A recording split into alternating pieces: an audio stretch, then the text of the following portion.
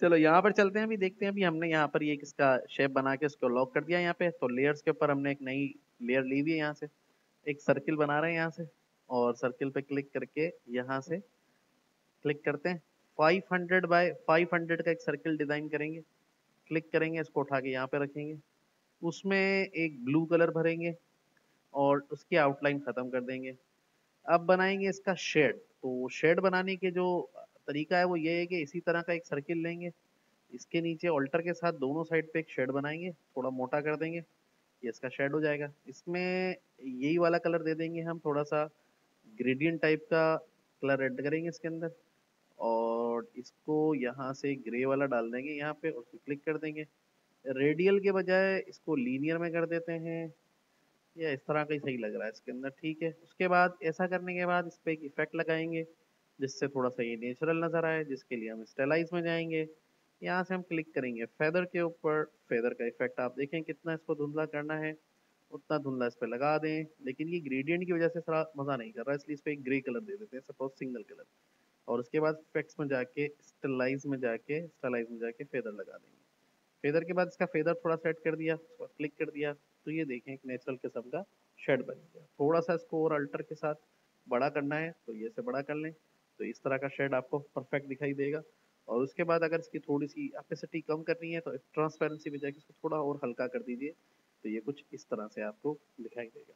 इसके बाद आते हैं, इसके लिए एक पैटर्न तैयार करेंगे। तो पैटर्न तैयार करने से पहले फ़ाइल को सेव कर लेते हैं और हमारे चैनल को सब्सक्राइब करना नहीं भूलिएगा। कमेंट्स लाइक शेयर और उससे भी आगे चीज़ों को आप ज़रूर कर लीजिएगा, ठीक है? ठीक है?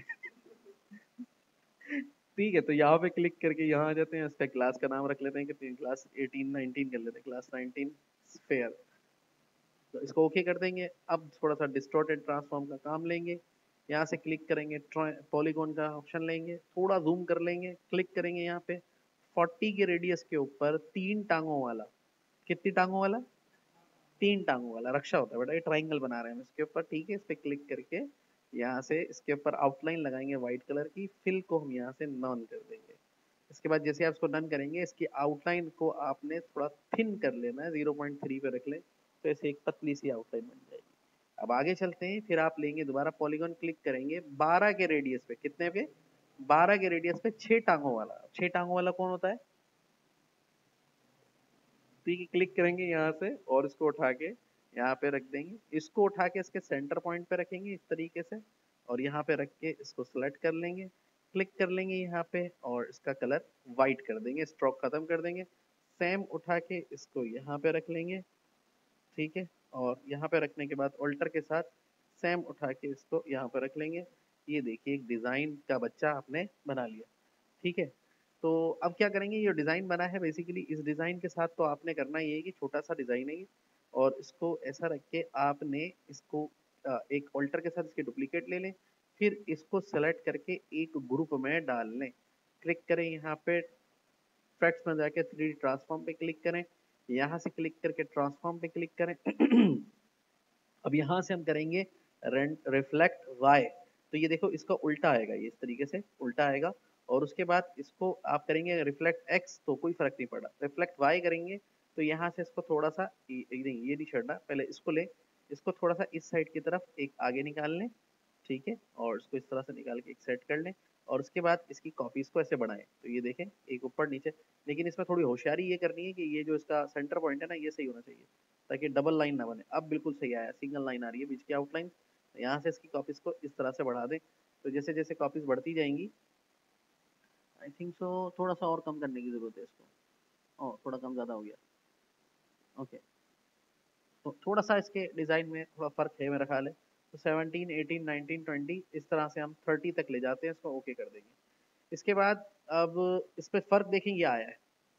आप देख रहे हैं ये फ़र्क क्यों आया ये फ़र्क इसलिए आया है कि इसका जो ये वाला सेटअप था इसमें कहीं ना कहीं कोई चीज़ में थोड़ी गड़बड़ेशन हुई है।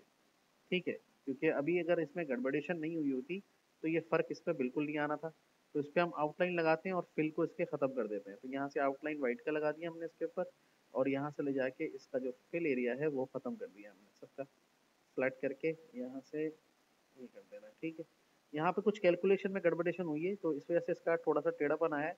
असल में गड़बड़ेशन ये हुई होगी कि यहाँ पे क्लिक करके जब मैंने इसको आउटलाइन पे रखा था 0.3 पे तो 0.3 किया था तो ये थिन हो गया था और इनकी आप जो अंदर वाला सिचुएशन थी वो तो हमने वाइट रखी हुई थी। तो ये हमने इनको वाइट कर दिया दोबारा से, ठीक है? तो यहाँ पे जाके अब इसका जो सेंटर निकाला था हमने कुछ इस तरीके से कि इसको पकड़ के ला के इसके सेंटर पे इस तरह से सेट किया था। और इसको फिर इसके सेंटर पे भी हमने रखना था तो इसके सेंटर पे हमने कुछ इस तरह से सेट किया था। लेकिन ये देखें, थोड़ा साइड में हो गया ना, ये नहीं होना चाहिए, दोनों एंगल के बीच में आना चाहिए इस तरीके से ना, ये इस तरीके से कि ये दोनों जो साइडें हैं इसकी कंप्लीटली फिक्स बैठे हैं इसके ऊपर। ओके ठीक है। अगर ये दोनों साइड्स इसकी सही नहीं बैठ रही हैं तो फिर हमें वहाँ जाके इसको थोड़ा सा टेढ़ापन का शिकार होना पड़ेगा, क्योंकि अगर हम इसका सेंटर पॉइंट ले रहे हैं यहाँ पे तो ये इसका निकालना हमें लाजमी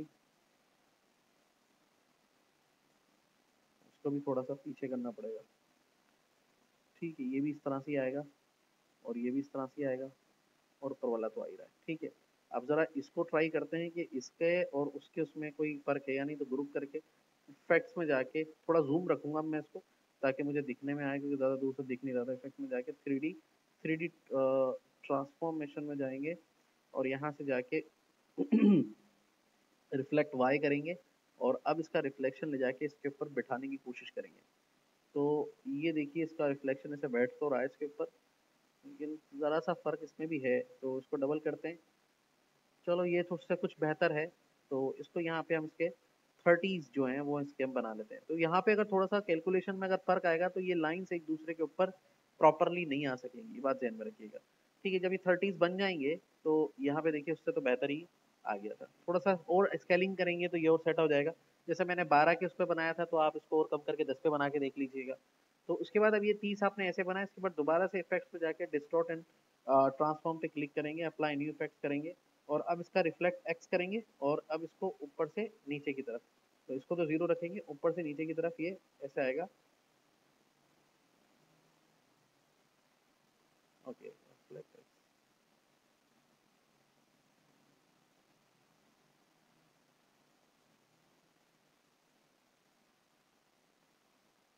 ओके अब इसकी कॉपी को रिफ्लेक्ट वाई करके बढ़ाना शुरू करते हैं। नीचे की तरफ़ नहीं बढ़ी कॉपी ऊपर बढ़ रही है।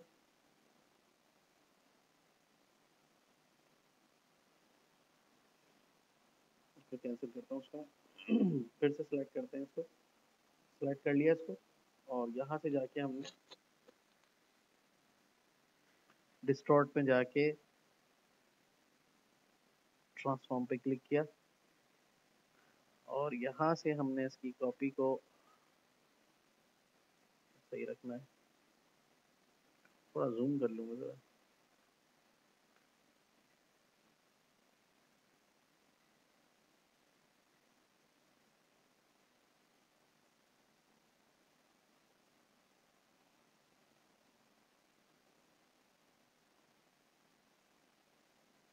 ये तो और आगे एक्सटेंड कर रहा है, इसको ज़ीरो रखेंगे।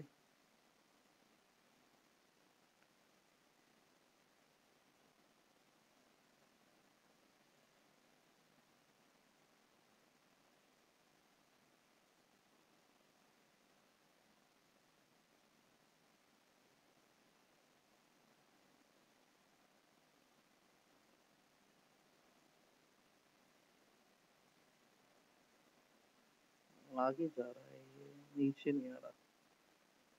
अच्छा इसको ज़ीरो करता हूँ मैं।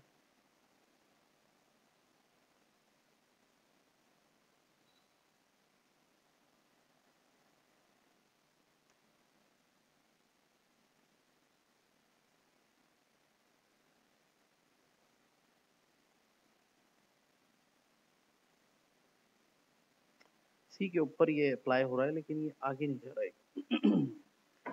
अच्छा एक काम करते हैं इसको ज़रा, इसको यहाँ रखते हैं, एक कॉपी ले लेते हैं इसकी, और इसको ऑब्जेक्ट में जाके एक्सपेंड अपीरियंस कर देते हैं एक्सपेंड कर देते हैं। ठीक है। अब चेक करते हैं इसको।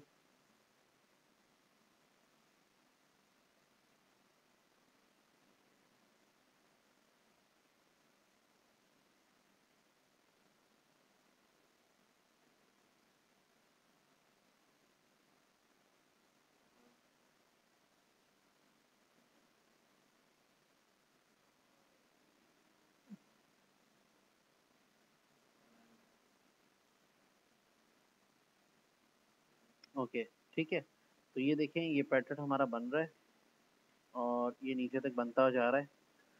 तो मैं इसको भी थर्टी तक ही लेके जा रहा हूँ और ओके कर देता हूँ ठीक है ओके कर दिया। तो ये देखें, लेकिन ये सारा इस तरह से चला गया और मुझे लेके जाना था इसको सीधा। तो सीधा ले जाने में आई थिंक ये हुआ होगा कि हमने इसका ये जो एक्स है, इसको रिपीट करवाया बार बार इसको अगर हम ज़ीरो करें तो ये सीधा हो गया, ठीक है। अब इसमें सीधा तो हो गया ये, लेकिन इसमें, हालाँकि इसमें भी काम चली जाएगा हमारा, लेकिन इसमें थोड़ा सा ये था कि अगर ये रिफ्लेक्ट अगर वाई करते हैं इसको, और रिफ्लेक्ट एक्स करते हैं इसको एक्स पे इसको कोई फ़र्क नहीं पड़ रहा इतना।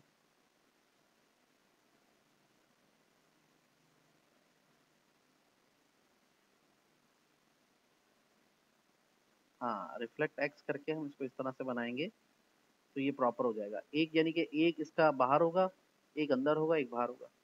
इसको इसी सेटिंग पे लेके हम दोबारा से करेंगे एडिट थोड़ा सा मैं इसको कैंसिल करके थोड़ा जूम आउट कर लेता हूँ और यहाँ पे ले जाके इसको इस तरह से क्लिक करेंगे। तो यहाँ पर अभी हमने क्या करना है रिफ्लेक्ट एक्स करना है इसको तो ये देखें खुद ही सही हो गया। तो ये एक साइड से थोड़ा बाहर जा रहा है, फिर अंदर आ रहा है, फिर बाहर जा रहा है, फिर अंदर जा रहा है, इस तरह से हमें इसकी सेटिंग रखनी तो ये हमारा एक डिज़ाइन का कंप्लीट सा बन गया पैटर्न ठीक है? अब क्या करना है? विंडोज़ में जाके सिंबल्स पे क्लिक करना है। ये पूरा का पूरा हमें उठा के ऐड कराना है सिंबल्स के अंदर और इसका नाम ग्राफिक्स पे रख के हमें कोई भी रख लेना है। जैसे द न्यू डी ठीक है? द न्यू डी के नाम से हमने इसमें ऐड करा दिया। ये इस पर नज़र आ रहा है। अब हमें क्या करना है? इस सर्किल पे आना है और सर्किल पे आकर हमने इस पर क्लिक करना है। डायरेक्ट सिलेक्शन टूल लेना है और यहाँ पे क्लिक करके सर्किल को हाफ़ कर देना है। ऑफ़ करने के बाद इस पर क्लिक करना है इफेक्ट्स में जाना है थ्री पे क्लिक करना है और यहाँ से रिवॉल्व लॉन्च करना है। तो आपने सिर्फ़ करना ये है कि यहाँ से क्लिक करके राइट एज पे क्लिक करना है तो ये दोबारा से गोल हो जाएगा। ठीक है, ये देखें पहले ये ऐसा नज़र आ रहा था सिलेंडर की तरह, और यहाँ से ये बॉक्स हो जाएगा। उसके बाद यहाँ से क्लिक करना है आपने मोर ऑप्शन पर, फिर यहाँ से जाना है, इसको आपने जाना है मैप आर्ट पर। मैप आर्ट पे जाने के बाद यहाँ क्लिक करना है और द न्यू डी पे क्लिक कर देना है और यहाँ से यह द न्यू डी अप्लाई हो जाएगा। उसके बाद थोड़ा सा इसको पकड़ के आराम से इसके ऊपर लेकर आना है। ठीक है, इस तरह से। अब ये हमारा थोड़ा सा छोटा बन गया है। कैसे बड़ा करके देखते हैं। ओके, ये डिज़ाइन भी अच्छा लग रहा है। सही है ना? सही लग रहा है? अगर थोड़ा हम इसको और एक्सपेंड करके बनाते तो ये पूरा का पूरा उस पर आ जाता उसी साइज़ में। लेकिन अब मैंने थोड़ा सा स्ट्रेच कर दिया तो ये थोड़ा खिंच गया इस तरीके से। ठीक है ना? और अगर आप इसको स्ट्रेच नहीं करते फॉर एग्ज़ाम्पल मैं इसको यहाँ पे दोबारा से ऐसे कर देता हूँ, और अल्टर शिफ्ट के साथ इसको ऐसे स्ट्रेच करता हूँ तो फिर ये कुछ इस तरह का डिज़ाइन बनेगा। ये ज़्यादा बेहतर लग रहा है? ठीक है? और उसके बाद हमने यहाँ से इसको ओके कर दिया। अप्लाई हो गया। फिर थोड़ा सा बॉल को ऐसा दिखाना है कि ये इसे घूमता हुआ आ रहा है तो इसको यहाँ से पकड़ के ऐसे ऐसे थोड़ा सा ऊपर की तरफ़। ऐसे घुमाना है और थोड़ा सा टेढ़ा करना है इसको। तो यहाँ से यहाँ पे इस तरह से। ऐसे और थोड़ा सा इस तरह से घुमा के आपने हालाँकि गोल है गोली से रहेगा ओके कर देना है। ओके करने के बाद इसको थोड़ा सा यहाँ से पकड़ के आ, रोटेट करना है। ये थोड़ा इस तरह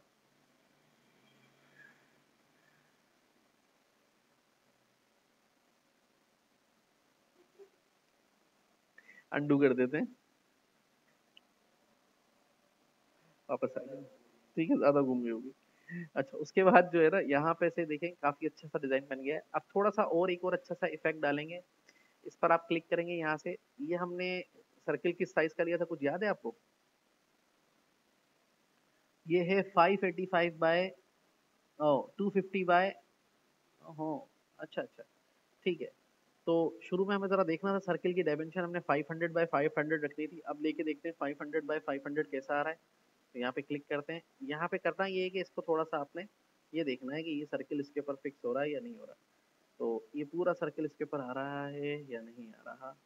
सही है, बिल्कुल ठीक आ रहा है इसके ऊपर, सही अब करना सिर्फ़ इसको ये है कि इसको यहाँ रखना है और इसके ऊपर आपने यहाँ से क्लिक करके ये इफ़ेक्ट लगाना है और यहाँ से इसको रखना है रेडियल पे रेडियल पे रख के इसको कर देना है थोड़ा सा इस तरह से रिवर्स